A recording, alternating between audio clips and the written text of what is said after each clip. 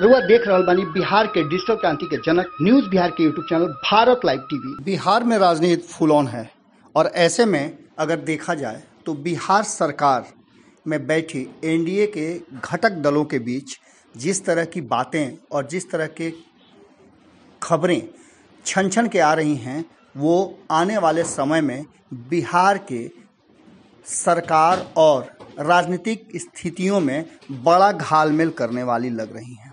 बिहार सरकार के मुखिया नीतीश कुमार तब से काफ़ी एक्टिव नज़र आ रहे हैं और वो भी एक्टिव, वो अपने सुशासन और अपनी सरकार के भीतर नज़र आ रहे हैं, जिससे लग रहा है कि वो कोई बड़ा फैसला करने वाले हैं।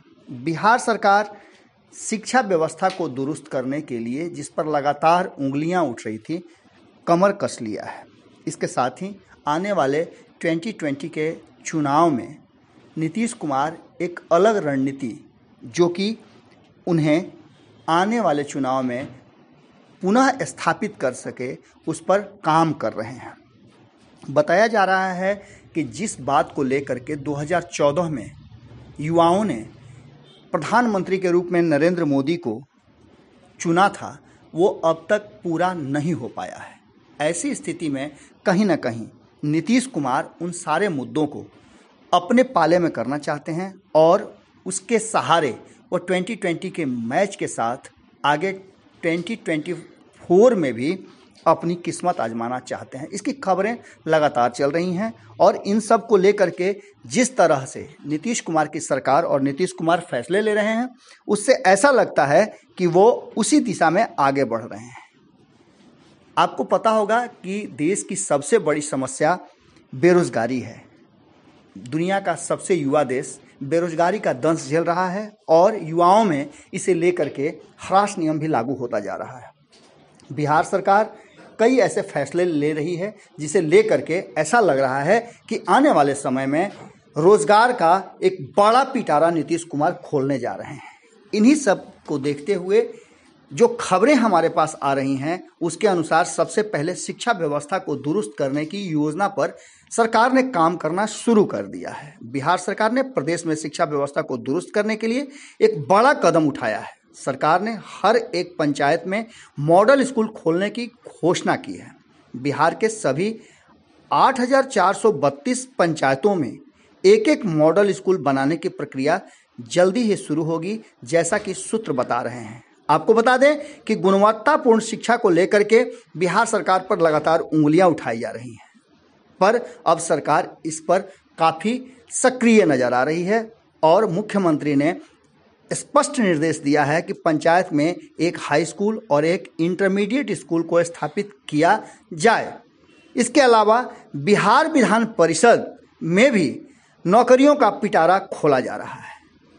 ऐसी स्थिति में देखने वाली बात ये होगी कि क्या बिहार सरकार सरकार नौकरियों से बिहार के बेरोजगारों को अपनी तरफ़ आकृष्ट कर पाती है?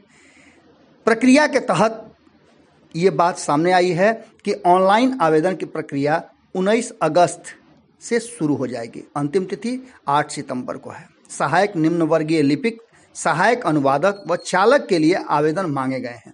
आपको बता दें कि शिक्षा विभाग के मुताबिक 2022 तक हर उच्च विद्यालय को मॉडल स्कूल के रूप में विकसित किया जाएगा। इस पर 436 करोड़ रुपए खर्च होने का अनुमान लगाया गया है। इसमें केंद्र सरकार की भी सहायता यानी कि वित्तीय मदद मिलेगी और बिहार सरकार भी अपना अंशदान करेगी। आपको बता दें कि शिक्षा को लेकर के बार बार बिहार सरकार और बिहार के शिक्षा व्यवस्था पर उंगलियाँ उठ रही हैं। इसे लेकर के नीतीश कुमार अब काफ़ी सक्रिय और इस पर ध्यान देने लगे हैं। इतना ही नहीं, और भी कई ऐसे विभाग हैं जहाँ नए सिरे से बहाली करने की प्रक्रिया शुरू होने जा रही है। विधानसभा और विधान परिषद के लिए भी रिक्तियों को भरने की कवायद शुरू है। वहीं सरकार पुलिस विभाग को भी दुरुस्त करने पर विचार कर रही है। बातचीत के दौरान बिहार के डीजीपी गुप्तेश्वर पांडे ने कहा कि राज्य के चौबीस हज़ार सिपाही ढाई हज़ार दरोगा और दो हज़ार ड्राइवरों की बहाली की प्रक्रिया जल्द ही शुरू की जाएगी। उन्होंने बताया कि इस महीने के अंत तक ये प्रक्रिया शुरू हो जाएगी। इसके साथ दरोगा और चालक के पदों के लिए भी बहाली की प्रक्रिया पर जल्दी ही विभाग फैसला लेगा। आपको बता दें कि नीतीश कुमार भीतर ही भीतर एक ऐसी योजना बना, बनाने में लगे हैं जो 2020 में फिर से उन्हें सीएम की कुर्सी तक पहुँचाने में मददगार हो और जो अभेद किला है, उसे भेद सके। इस लोकसभा चुनाव में नीतीश कुमार ने एनडीए के साथ मोदी को पीएम बनाने के लिए युद्ध स्तर पर काम किया। उसे बिहार सहित देश ने देखा। परंतु उसके बाद जो स्थितियाँ बदली, उससे उनकी नाराज़गी भी जग ज़ाहिर है। वहीं बिहार की राजनीति करीब को करीब से जानने वाले मानते हैं कि नीतीश कुमार को इस बात का संशय है कि उन्हें 2020 में भाजपा झटका दे सकती है। भाजपा के अंदर भी बढ़ते जनाधार के बाद बिहार के नेता काफ़ी लवरेज हैं और चाहते हैं कि 15 वर्षों के बाद नीतीश कुमार सीएम का पद खुद भारतीय जनता पार्टी को हस्तांतरित कर दें। जब पर जानकारों की यदि बात माने तो नीतीश कुमार अभी बिहार छोड़ने के लिए तैयार नहीं हैं। अगर भाजपा का दबाव उन पर बढ़ा या जरा सा भी उन्हें लगा कि उनकी कुर्सी पर खतरा है तो भाजपा विरोधी गुट के आमंत्रण को वो स्वीकार कर सकते हैं।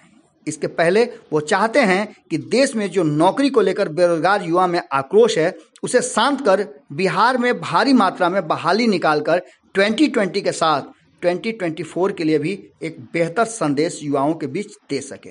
उधर विपक्ष के तरफ़ से भी नीतीश कुमार को मोदी के समक्ष सबसे सशक्त एकमात्र नेता होने का जो बात कही गई है, उसके लिए उन्हें निमंत्रण दिया है ये भी एक बड़ा वजह है।